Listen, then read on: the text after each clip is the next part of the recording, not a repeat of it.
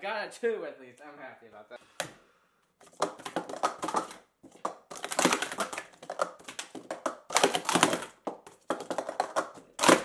I got a seven. I'm good with that.